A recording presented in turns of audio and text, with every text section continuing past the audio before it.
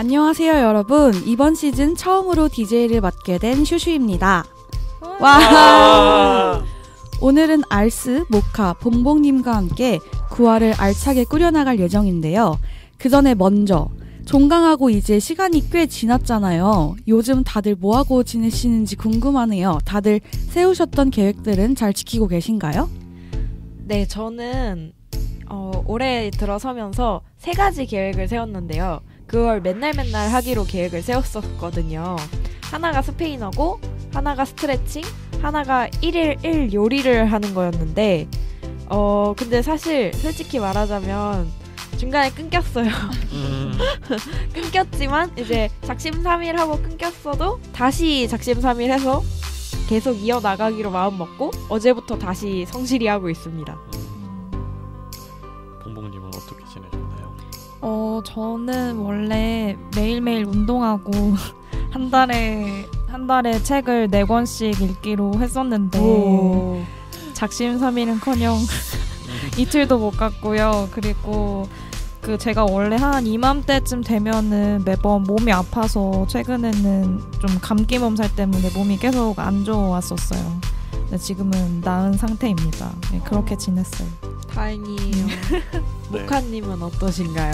저는 요즘 진짜 너무 힘들어요. 제가 지금 울먹거려 목소리부터 지금 힘들어 보이네요. 제가 뮤지컬을 하나 준비를 하고 있는데요. 제가 이제 대학 연합 뮤지컬 동아리를 하고 있는데 소극장 뮤지컬로 유명한 어 당신 당 어, 너를 위한 글자라는 공연을 준비하고 있습니다. 어... 네, 그래서 제가 나중에 나피님한테 사바사바 해가지고 홍보 좀 부탁드릴 테니까 많이 보러 와주시고요. 네. 진짜 그 뮤지컬 연습 때문에 매일매일 학교를 가면서 몸이 남아나지 않아고 있습니다. 혹시 연기도 하시나요, 그러면? 전 연출만 합니다. 아. 네. 슈슈님은 어떻게 지내셨나요? 네, 저는 저번에 계절학기를 한다고 말씀을 드렸었었는데 계절학기를 철회했기 때문에 종강하고 지금까지 너무 너무 신나게 놀았습니다.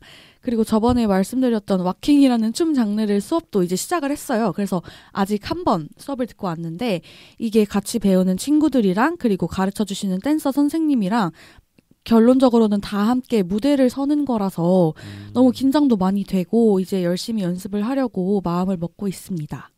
대학생인 청취자분들도 아직까지는 계획한 바를 실천하지 못했다는 생각이 드시더라도 저희에겐 아직 두 달의 시간이 남았잖아요.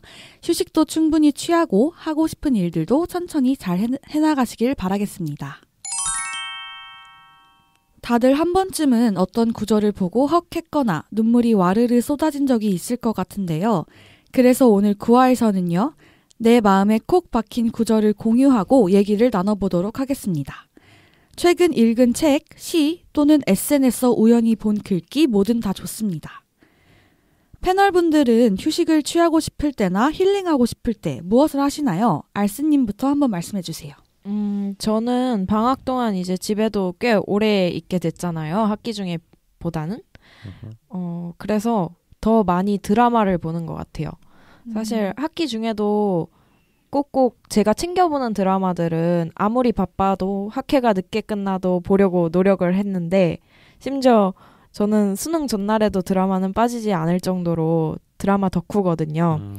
그래서 드라마를 보면서 그냥 아무 생각 없이 보는 게 좋아서 계속 보고 있고, 음, 그리고 드라마를 보면서 뭔가 간접적으로 경험하는 것도 있는 것 같아요.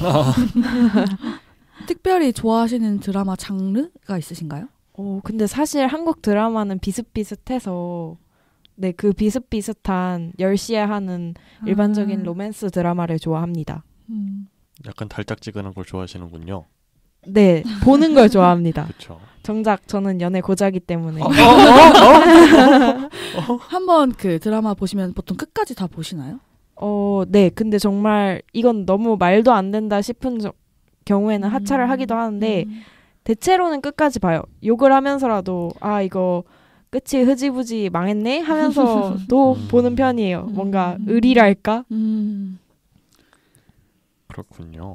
네, 모카님은 뭐, 뭐 하시나요? 저는 이제 쉬는 날이 있으면은 일단은 금정전 여유가 되면 관극을 보러 가요. 이제 뮤지컬 동아리를 시작하면서 이렇게 새로 새로 생긴 그 치, 뭐라 그러죠? 취미라 그래야 되나? 그건데 음. 대극장 뮤지컬 같은 경우는 비싸서 하나 한 번 보려면 거의 10만 원 가까이 깨지잖아요. 음.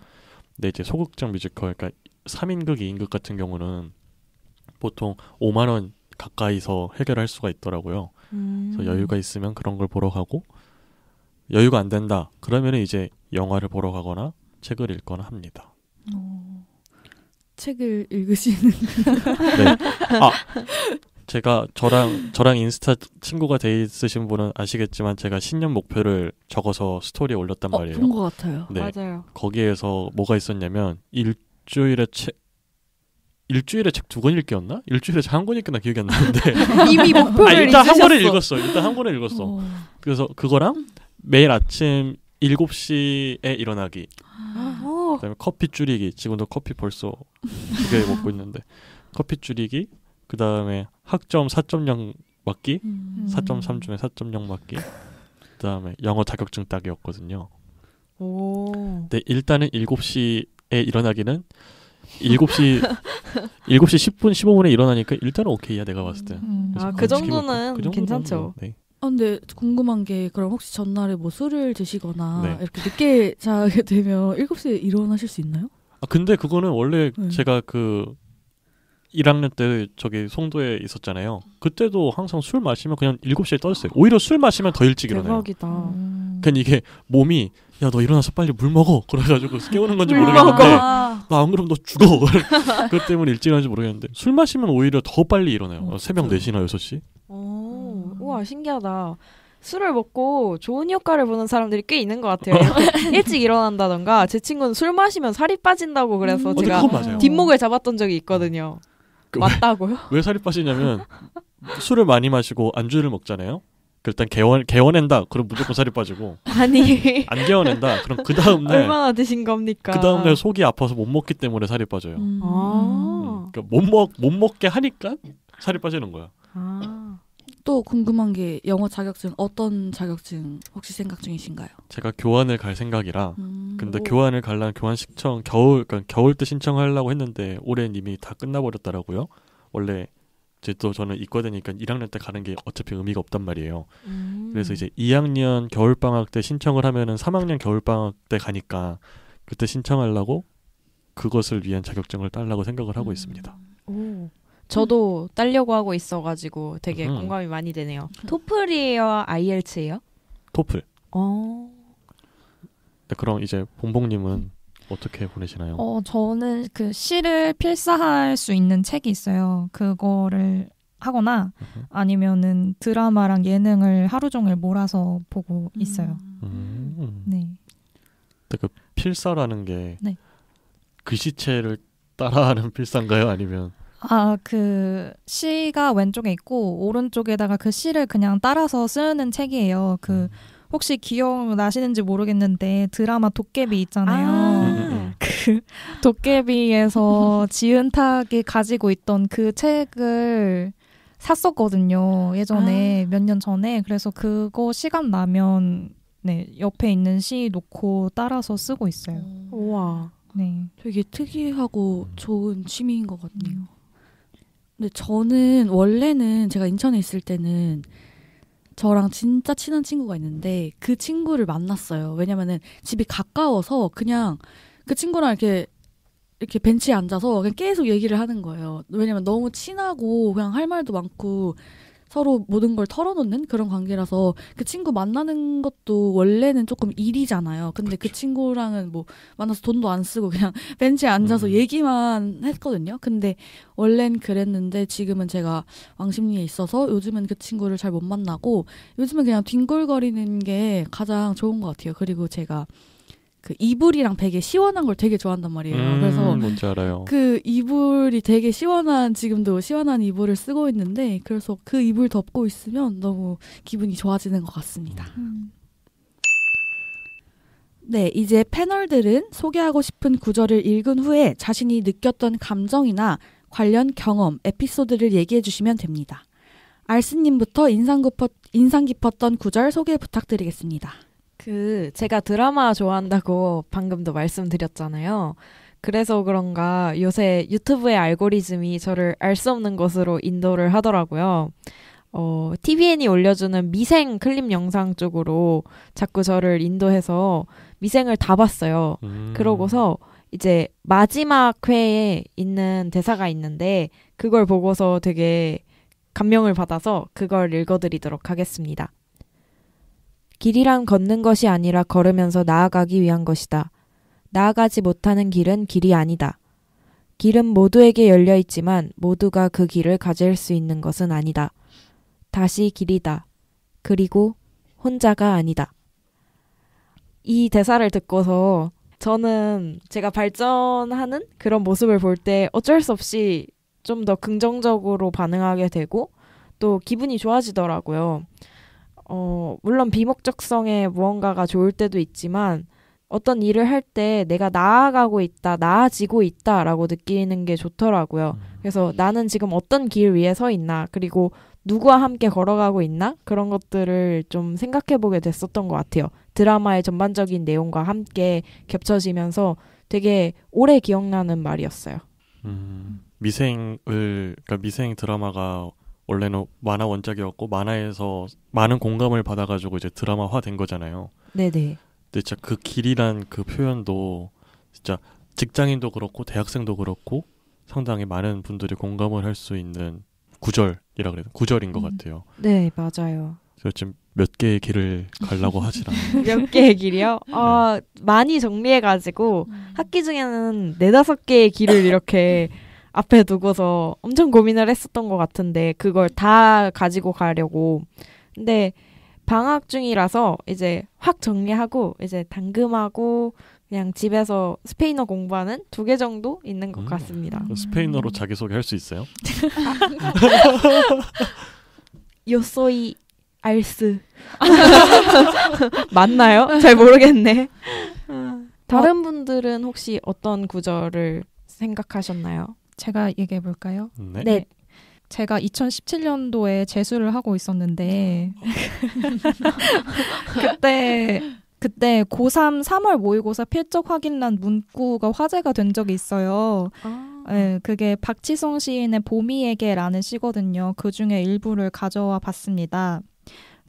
네. 아직 작은 씨앗이기에 그리 조급해하지 않아도 괜찮아. 그리 불안해하지 않아도 괜찮아. 넌 머지않아 예쁜 꽃이 될 테니까. 여기서 넌 머지않아 예쁜 꽃이 될 테니까 이 부분이 필적 확인한 문구로 나왔었던 것 같더라고요. 그때 어 제가 이제 저는 그냥 이제 재수를 하던 상황이었으니까 어 3월 모의고사가 출제되면 그거를 프린트해서 그냥 풀려고 준비를 하던 중이었는데 실시간 검색어에 자꾸 이게 올라오니까 보게 되더라고요. 그래서 원래는 그냥 저는 프린트만 해서 그냥 풀어야 됐었는데 이제 실시간 검색어에 올라와서 보게 된 거죠.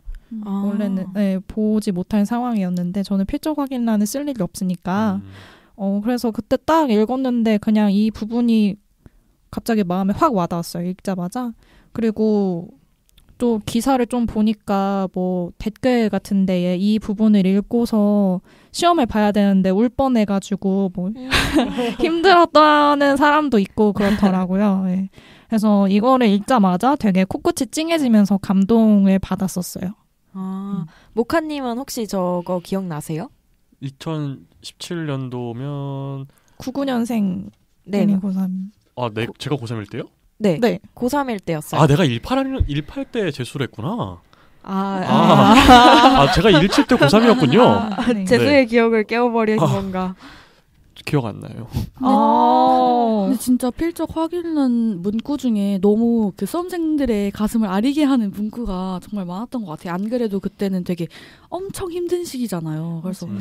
진짜 네. 필적 확인란의 의미가 진짜 대단한 것 같습니다. 저도 저 문구를 기억을 하고 있거든요. 왜냐면 물론 그때 되게 좋은 문구여서 엄청 핫했던 것도 있지만 어 급훈으로 저희 학교에서 오. 돼가지고 그래서 칠판 위에 너는 예쁜 꽃이 될 테니까가 급훈으로 적혀 있었어요. 음. 네, 그래가지고 기억이 나네요. 그렇군요. 그지 제가 얘기할 차례인가요? 어, 더, 더, 더 있어요. 있어요. 더 있어요. 네. 해주시죠. 그 아시는 분들은 아시겠지만 제가 사실 지금도 잔나비 굿즈를 입고 있는데 몰랐어요. 어. 제가 잔나비를 좋아하거든요. 근데 잔나비 노래 중에 우리애는요라는 노래가 있어요. 어, 그 노래의 가사 일부를 또 가져와 봤습니다. 네. 어버버버 더듬더듬 내 말도 천재 같고 멋있어 고치지 않을 거야 조금 답답해도 참아야 해 이 부분인데요. 어 이거를 막 자존감이 한때 좀 낮아진 때가 있었어요. 그래서 어 항상 제 단점만 계속 생각하던 때가 있었는데 이 가사를 보고서 조금 생각이 바뀌었거든요. 어, 말을 어버버거리고 더듬는 걸 장점으로 본 적이 단 한 번도 없었는데 이걸 천재 같고 멋있다고 하면서 긍정적으로 생각할 수 있다는 걸 처음 깨닫게 됐어요. 이 가사를 보고. 그래서 말을 잘 못하는 것 뿐만 아니라 뭐 내가 아무런 이유 없이 그리고 깊은 고민 없이 그냥 당연하게 단점으로 생각했던 것들도 어, 이제는 장점으로 만들 수 있는 생각의 전환이 필요하다는 걸 느꼈습니다. 네, 이 오. 가사를 보고서. 음, 멋있다.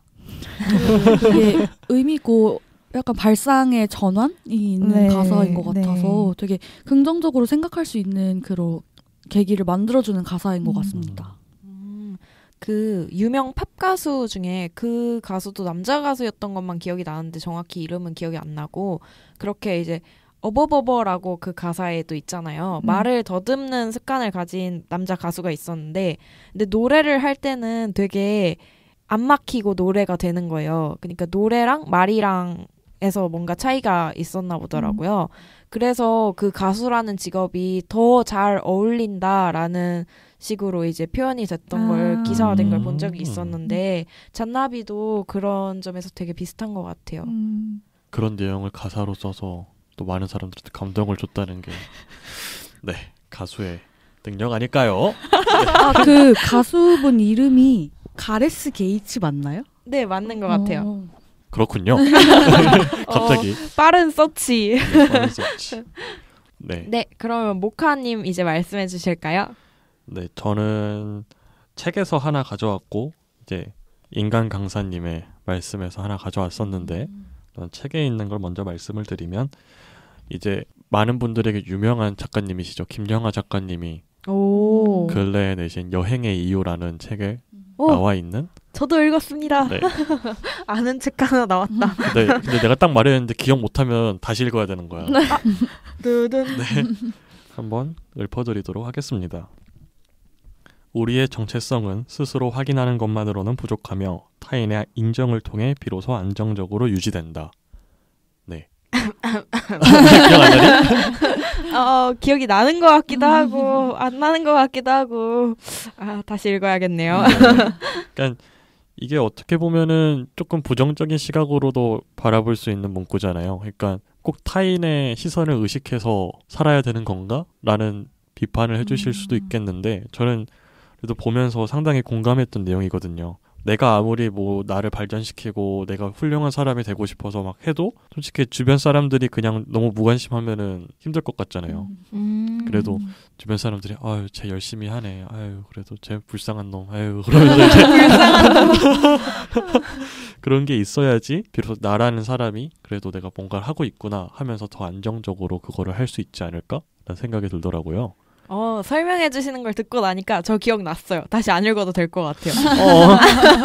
아니 진짜로 기억이 났는데 그 책이 여행의 이유잖아요. 네. 그래서 이제 여행을 갔을 때 뭔가 장점 중에 하나가 나를 완전히 한 번도 본 적 없는 사람들 속에 들어간 거잖아요. 그렇죠. 그래서 새롭게 행동할 수 있고 새로운 나 자신을 보여줄 수 있다라는 부분이었던 것 같은데 어. 실제로 그 책을 제가 여행을 가기 직전에 읽었어서 음. 여행을 갔을 때 그 친구랑 같이 다닐 때보다 저 혼자 이제 따로따로 여행을 했었던 시기가 있는데 그 시기에 뭔가 더 막 두근거렸던 기억이 있어요. 그때 그 문구를 생각을 했었던 것 음. 같아요. 음. 그 내용을. 아니 저는 사실 듣고 처음에 잉 했는데 왜? 아 저는 이렇게 반대 의견을 이렇게 말해도 될지 모르겠는데 네. 어, 아, 물론 뭐 친구들 주위 사람들 또는 남으로부터 인정을 받는 게 당연히 중요하고 의미가 있지만 뭔가 스스로 자신을 인정을 해주고 나 자신을 인정하고 긍정적으로 생각을 하면 충분하지 않나라는 음. 생각을 저는 갖고 있기 때문에 딱 처음에 읽으셨을 때 좀 놀라긴 했지만 근데 뭐그 모카님 말씀도 충분히 일리가 있는 것 같습니다. 근데 저도 슈슈님 의견이랑 비슷한데요. 반대 의견이 토론 갑자기 됐어요. 토론인가요? 그 이효리님 남편 이상수님 음. 그 네네. 막 의자 안쪽 안 보이는 데를 막 사포질하고 있었대요. 그래서 그 이효리님이 왜 사람들이 보지도 못하는 안쪽을 이렇게 뭐하러 열심히 사포질을 하느냐. 어차피 남들을 알아주지도 못하는데 그러니까 이상수님이 내가 알잖아. 내가 알면 되지. 이렇게 얘기를 했다고 하시더라고요. 그래서 저도 아, 뭔가 남들이 알아주지 않는데 무언가를 내 스스로가 그냥 알고만 있어도 나는 그걸로 됐다. 라고 생각을 했었거든요.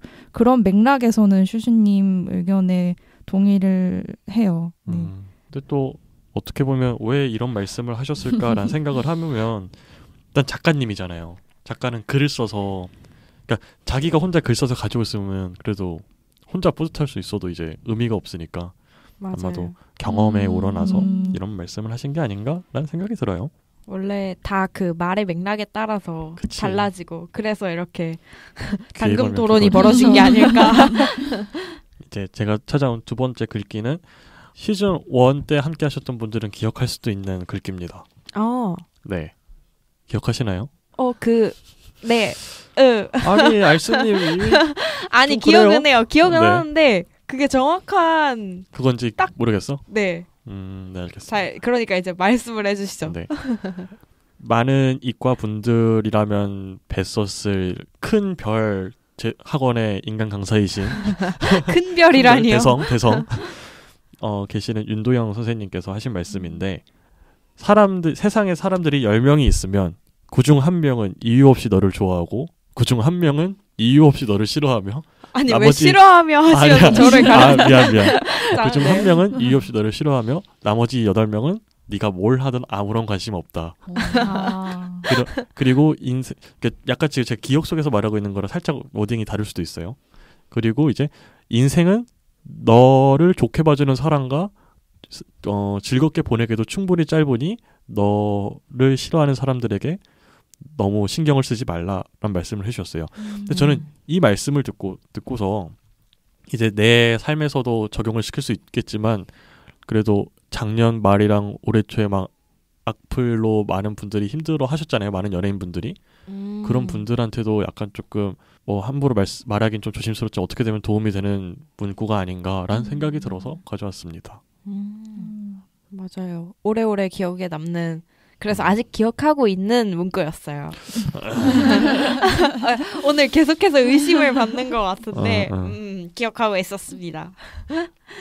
네, 이제 저도 가져온 글귀를 하나 말씀드리겠습니다. 저는 이거는 그냥 아마 SNS에서 우연히 본 것 같아요. 근데 갑자기 이렇게 딱 봤는데 제 주위를 주위 사람을 돌아보게 되는 글귀였거든요. 그리고 이게 갑자기 제가 그때 힘들 때였나 너무 와닿고 약간 슬프기도 하고 어떻게 보면 엄청 대단한 글귀는 아닌데 어쨌든 제 마음을 되게 이렇게 정말 꼭 박히게 했던 그런 글귀인데요. 읽어드리겠습니다. 사람이 가장 자신감 있을 때는 돌아갈 품이 있다는 것을 알 때, 그리고 항상 지지해주고 사랑해주는 사람이 있을 때다. 라는 말이었는데요.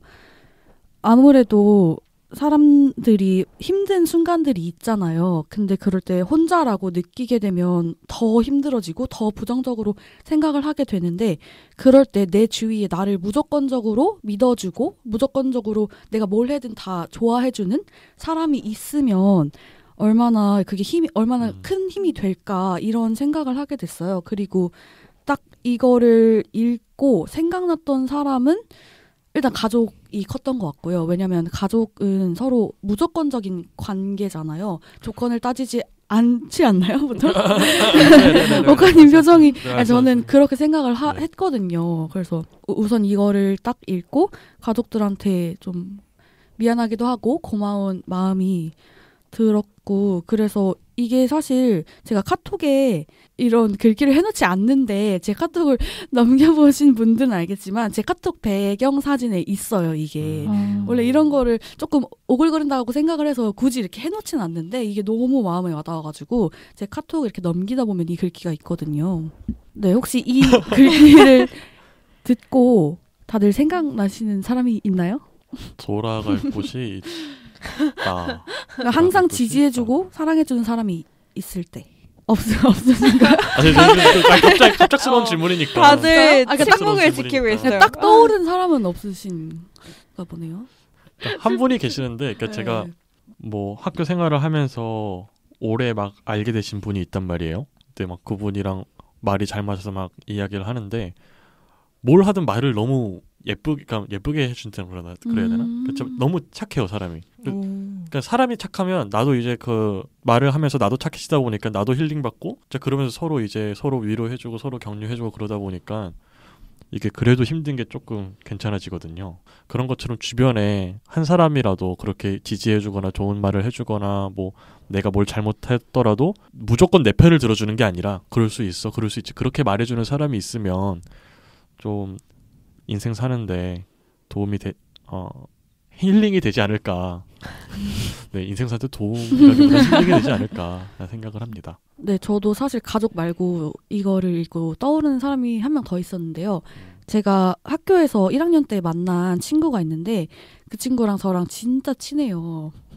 근데 그 친구가 저를 되게 좋아하고 저도 그 친구를 진짜 좋아해요. 거의 제가 팬처럼 그 친구한테 오. 맨날 카톡하고 답장 기다리고 이런 정도거든요. 걔가 카톡을 맨날 안 봐가지고 맨날 카톡 봐달라고 하고 그런 친구가 있는데 제가 그 친구랑 친하니까 제가 뭔가 잘못을 했을 때가 있었어요. 그래서 말을 했어요. 그 잘못한 걸 말을 했더니 그 친구가 저한테 아 나는 너가 어떤 잘못을 해도 다 이렇게 보듬어줄 수 있다, 품어줄 수 있다 이런 말을 하더라고요. 근데 제가 그 말이 너무 감동을 받았었거든요. 음. 진짜 얘가 나를 이 정도로 생각을 해주는구나. 내가 어떤 잘못을 해도 얘- 물론 잘못 잘못이긴 하지만 그치 그치. 이렇게 나를 이렇게 보듬어줄 수 있구나 이런 생각을 해서 그 친구도 음. 딱 떠올랐던 것 같습니다. 근데 이게 참 웃긴 게 내가 이 사람한테 이 사람한테 그냥 그러니까 내가 이 사람과의 관계를 80이라 생각했는데 상대방이 난 너를 100이라 생각해 하면 감동받는데 내가 이 사람과의 관계가 100이라 생각했는데 상대방이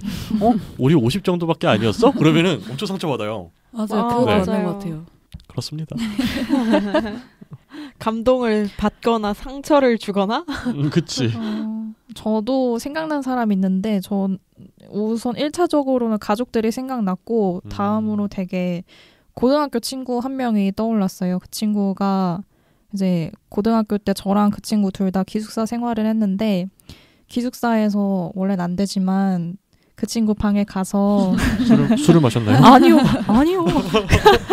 그 친구 방에 가서 한 새벽 4시인가? 그때까지 수다를 떨고 거의 매일 그랬던 친구가 있어요. 근데 어, 제가 대학교 와서 되게 힘들고 뭐 기분 안 좋을 때 그 친구한테 알려주지도 않았는데 그 친구가 딱 마침 타이밍 좋게 연락을 계속 매번 하는 거예요. 그래서 음, 네, 그때마다 그 친구한테 위로를 많이 받고 음. 반대로 또 그 친구한테 안 좋은 일 있을 때 제가 또 타이밍 잘 맞춰서 연락을 해가지고 그런 거를 보면서 뭔가 텔레파시가 통하나 그런 음. 느낌을 많이 받았었어요 그 친구랑 그 친구가 떠올랐어요. 네. 사실 저도 가족과 친구 가 떠오르긴 했는데 근데 이 팟캐스트를 가족이랑 친구가 들을 거란 말이에요.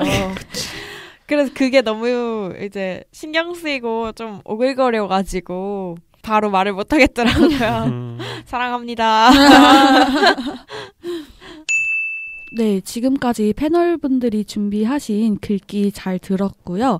또 제가 궁금한 게 있어요. 패널분들한테 본인들의 인생에 좌우명 같은 게 혹시 있다면 어떤 게 있을까요? 좌우명이요. 네. 네. 어 인생 모토 같은 거 이제 말하면 네, 되는 네. 건가요? 저는 좀 이상하게 들리실 수도 있어요. 근데 되게 후회에 대해서 할 필요도 없고 그리고 잘 안 하는 편이라서 음. 어 그래서 제 좌우명을 정리하자면 후회할 짓은 하지 말고 한 일은 후회하지 말자인 것 같아요. 음. 음. 뭔가 계속 이렇게 앞을 보고 지금을 보고 나아가는 편이지 과거에 그다지 막 후회를 한다던가 물론 반성 정도는 하는데 근데 아 왜 그걸 그랬지라는 생각 자체를 많이 안 하는 편인 것 같아요. 그러니까 과거에 내가 그 행동을 한 데에는 그때 내가 가지고 있던 정보나 그때 내가 처해 있던 환경이나 그런 걸 고려했을 때 나는 최선의 선택을 열심히 고민해서 했을 거야라는 그런 과거의 음. 나와의 유대감이 있는 것 같아요. 음. 그래서 후회를 안 하는 편인 것 같고 그리고 앞으로의 일에 대해 걱정을 하는 게 차라리 후회보다는 더 뭐랄까 효용성이 높지 않나 음. 하는 생각을 가지고 있어서 네 그게 제 좌우명입니다. 네, 정말 와닿는 게 저는 원래는 후회를 되게 많이 하면서 살았거든요. 이불킥도 많이 차고 후회가 원래 되게. 많았는데 지금 딱 들으니까 앞으로는 좀 후회 좀 하지 말 하지 말고 살아야겠다 이런 생각이 드는 것 같습니다. 음. 네 저도 이불킥을 많이 해봤더니 그러니까 진짜 부끄러워해야 할 일과 그게 아닌 일을 좀 구분을 하게 구분해서. 됐고 아. 네 그래서 진짜 부끄러워야 할 일은 안 하고.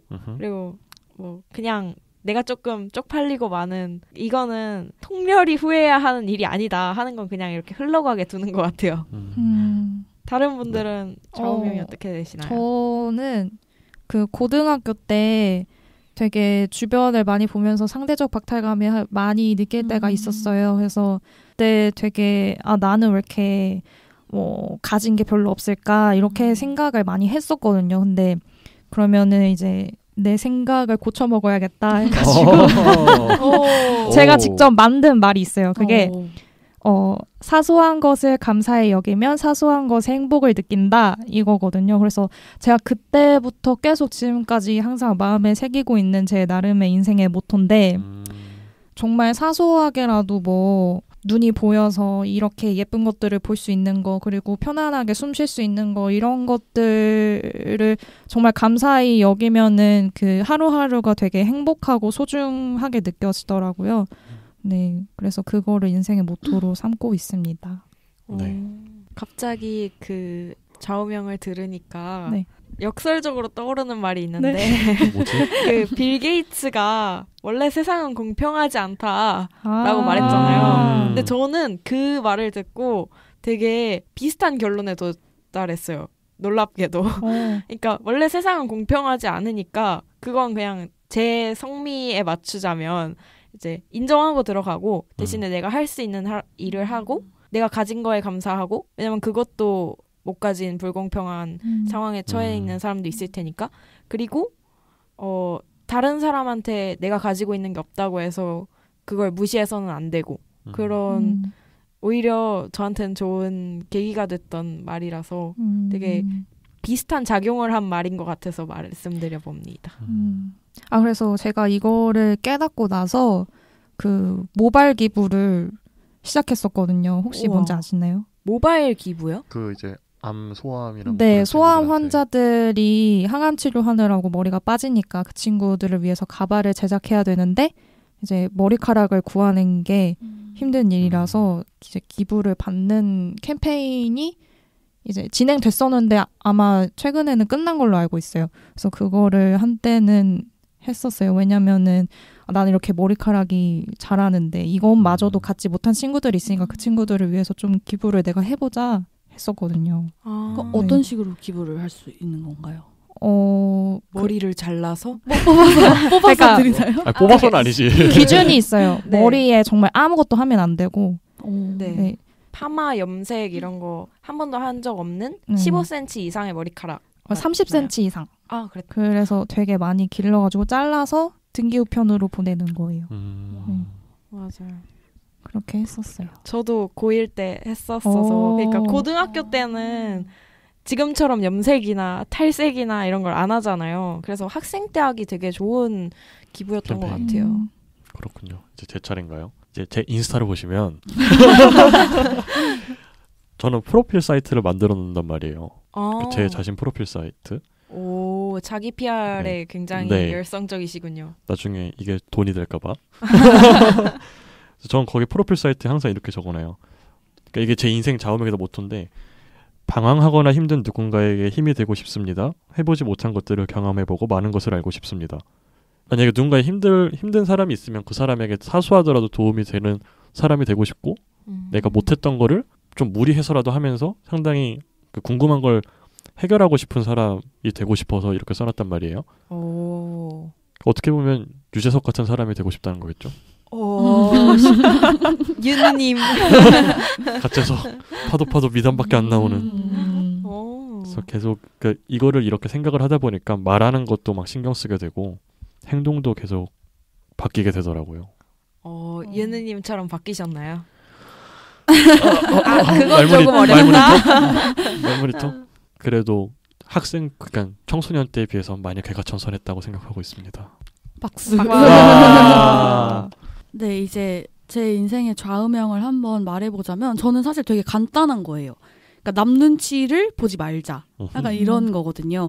왜냐하면 제가 자존감이 좀 낮았을 때가 있는데 그 원인을 곰곰이 생각을 해보니까 너무 남에게 인정을 받고 싶어 했던 것 같아요. 아까 음. 목가님께서 말씀하신 굵기랑도 약간 네. 연결이 되지만 어, 반대 의견이긴 한데 너무 남이 나를 잘 봐줬으면 좋겠고 그런 게 너무 커가지고 그런 부분 때문에 자존감도 많이 낮아지고 혼자 되게 우울하고 이런 시기가 있었거든요. 그래서 그 원인을 곰곰이 생각을 하다가 아 너무 사람들의 기대에 충족시키려고 하지 말자. 너무 과하게 나를 희생하면서까지 노력하지 말자. 이런 생각을 해서 저는 남 눈치 보지 않기. 이게 음. 지금은 딱 인생의 좌우명이라고 하면 딱 이 말이 떠오르는 것 같아요. 어, 맞아요. 저도 학생 때까지는 아 물론 여전히 학생이지만 나 학생의 그게 다르잖아. 네, 그 어감이 다르잖아요. 늙은 그러니까 학생. 중고등학교 때는 특히 막 이제 학교에서 생활을 신경 쓰고 이래야 하니까 어 되게 착한 아이 콤플렉스 같은 아. 그런 비슷한 게 있었어요. 되게 모범생으로 살아야 할것 같고 착한 척 그러니까 착하고 음. 또 착하지 않으면 착한 척이라도 해야 하는 그런 상황에 놓여 있다고 스스로를 생각을 하고 그렇게 행동하려고 되게 했었는데 그러니까 착하다는 거에 대해서 다시 생각을 해봤는데 상황이 그래서 어쩔 수 없이 착하게 행동하는 거는 그러니까 결국 제가 자의로 하는 게 아니잖아요. 그래서 아 내가 판단해서 내가 결정해서 내 의지로 하는 착한 일이 진짜 착한 거지.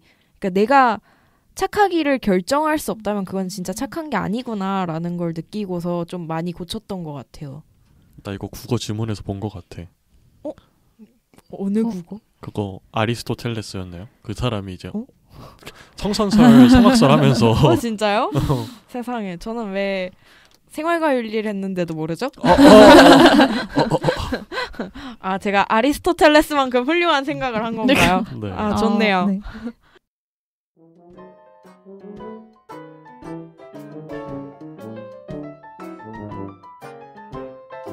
네, 이렇게 인생의 좌우명까지 잘 들어봤습니다. 우리에게 정말 다양한 감정을 불러일으켜줬던 여러 구절에 대해 얘기를 해봤는데요. 별거 아닌 것 같지만 특정 구절들이 우리에게 주는 메시지의 힘은 무시할 수 없는 것 같습니다.